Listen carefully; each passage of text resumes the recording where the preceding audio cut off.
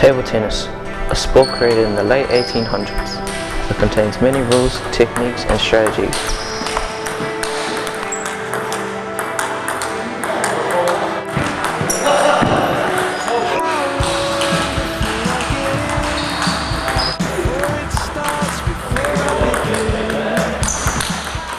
Uh, I started playing when I was 8 and then I had a bit of a break and I started back when I was about 11 and so basically I've been playing for four years properly.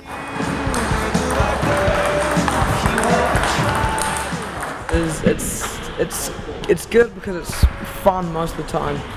Um, yeah, it's a sport as well. I mean, and when you get good, you can run around and things. So I like it as a sport, competitive sport.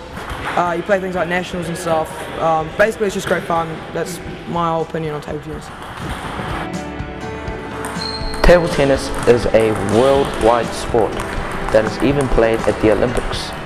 China dominates this sport, but other countries such as Germany are a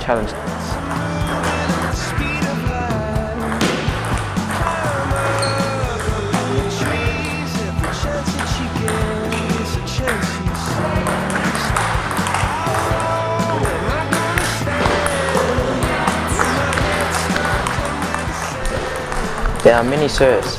The basic serves are the forespin and backspin. The rules involved are that you must have a flat hand, then throw the ball up 6 inches.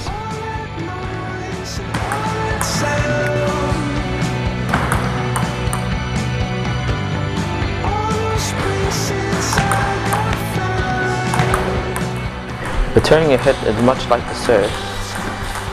Angle the bat in whatever spin it is to become, but if the ball has a lot of power, you can use that power to return the ball.